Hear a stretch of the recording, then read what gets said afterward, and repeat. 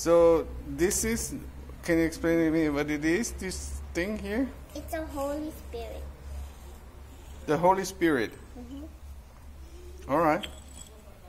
And uh, how do you know about the Holy Spirit? This is just some, I don't know.